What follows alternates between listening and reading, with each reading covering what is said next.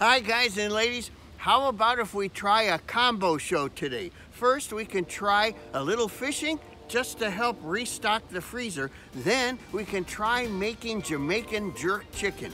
I'd love if you could join me. I'm gonna make my first cast right here off the dock.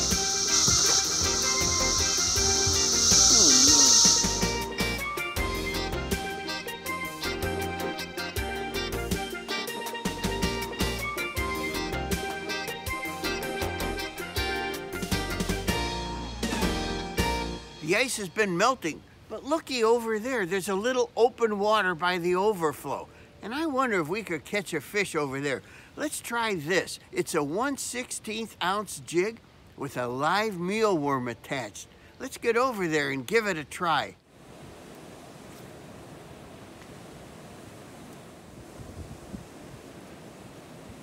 Oh, I had one! I had one! Oh, the worm. At least I know this method works.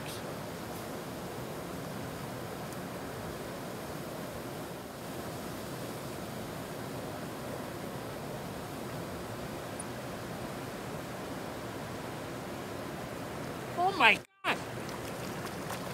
Whoa!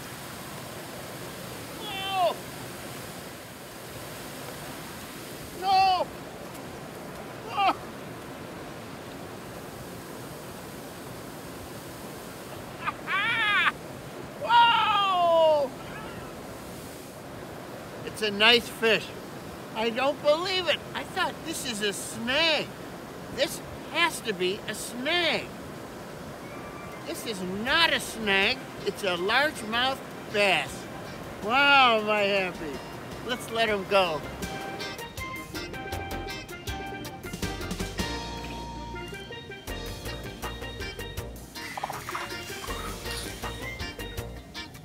I had to let him go. He was too big. We're only allowed to keep small ones in Lake Ketchabigwon. It's the opposite of all other lakes. We have to let the big ones go and breed and grow bigger.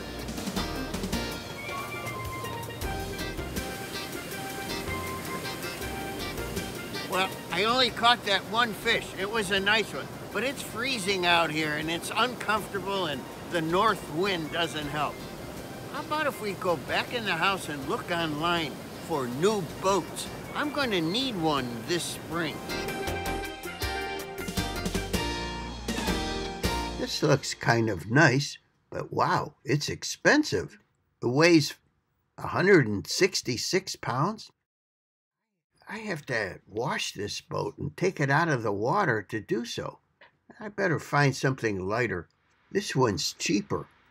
Well, it's still 166 pounds, and frankly, it doesn't look too sharp. This boat is way cool. Look, it comes with built in electric motors. It's heavy, though. It's 175 pounds. It's very expensive, too. Look at that $4,300.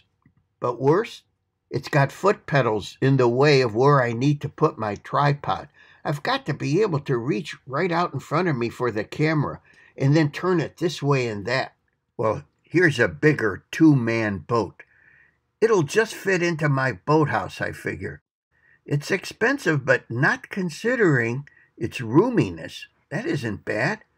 But I, I just can't imagine me pulling this thing out onto the shore to wash out the spider poop. It weighs 238 pounds. This is more for a gasoline engine. This little Uncle Buck's Pond Prowler might be just the ticket. It looks a lot like my old one. Look, it has rod holders. The seats look comfy too. And it's got a nice floor for a camera tripod. It weighs 138 pounds. And look at this, the price. It's right. I might get this one. Here it is the next day. Did you see me prevent that fish from hopping back into the water with a little soccer kick? Well, I wasn't able to add any fish to the freezer, but that's okay. I caught a nice one.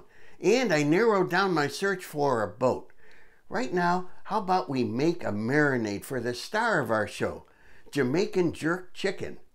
I'm going to start off with a third cup of olive oil. Here's a teaspoon of kosher salt. Here's about a half tablespoon of apple cider vinegar. Look what I have here.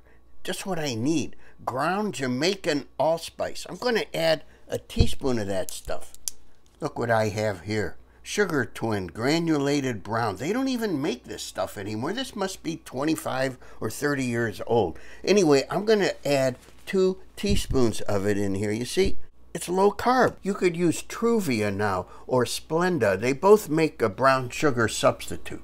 I'm adding a teaspoon of onion powder now. Look, dried chopped garlic. I'm adding a half a teaspoon. Let's add a half teaspoon of this ground nutmeg. Here's about a half teaspoon of black pepper.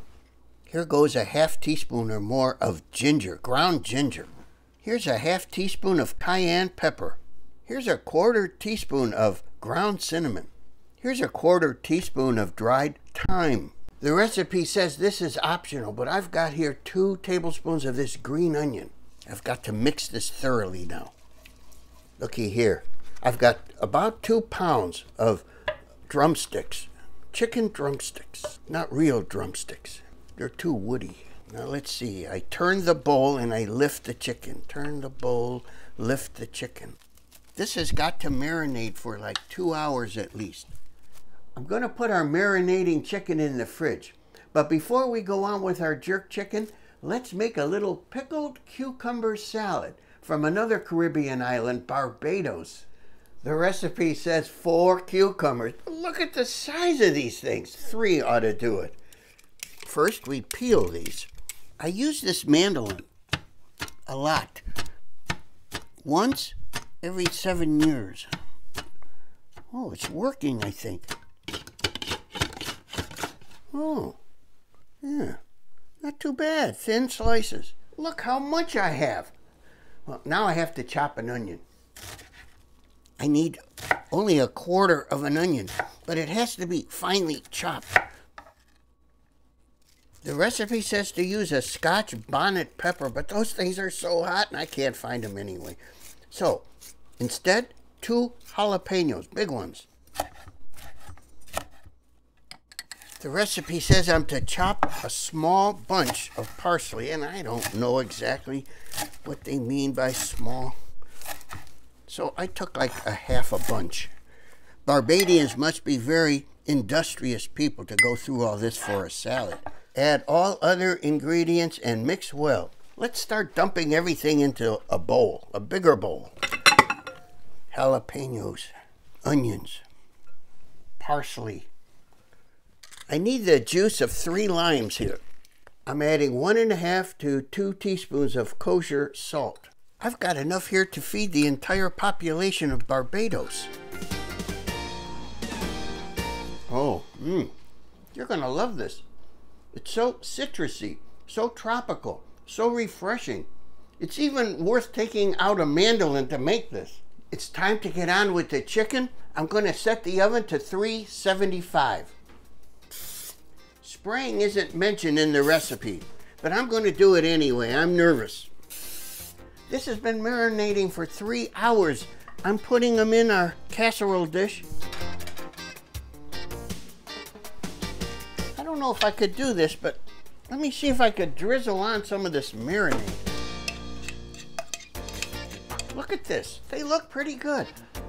I'm going to pop these in the oven for an hour and 10 minutes. While our jerk is in the oven, I want to tell you all the famous celebrity restaurant and food critic Miss Lulu Cheeks is about to arrive here for dinner tonight.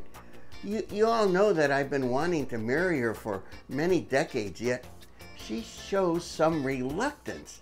Well, I've decided to keep the pressure up. You know, it's time I got to the bottom of why we aren't a couple. It's not going to be completely done, but we're done with the uh, baking part, the roasting part. That's really dark, very dark. Well, here's what we do now. I'm going to turn the broiler on. And I'm going to put it back in the oven for two minutes. This jerk chicken looks more than done. But let me just put it in the broiler for a minute. It's been a minute and a half. It's time to get it out and serve it up. Oh Oh, it's burned! Oh!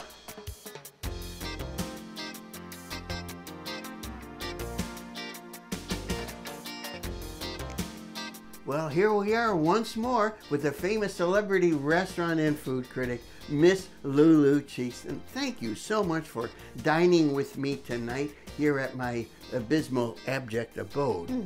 And you had the opportunity to partake of my pickled cucumber salad and jerk chicken.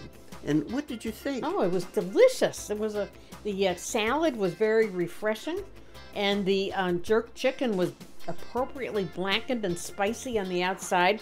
It wasn't- too hot. Not it wasn't hot. too burned, No, not at all. It I should be blackened. I when thought I, it was When I think of jerk, I think of blackened, and then on the inside it was yummy, uh, tender, and flavorful. Most people, when they think of jerk, they think of me. Miss Lulu, uh, we've been seeing each other for decades, and I finally have to ask why can't you and I finally tie the knot? you don't remember. We disagree on how our children should be raised. Children, huh? Oh, uh, can I have a hug?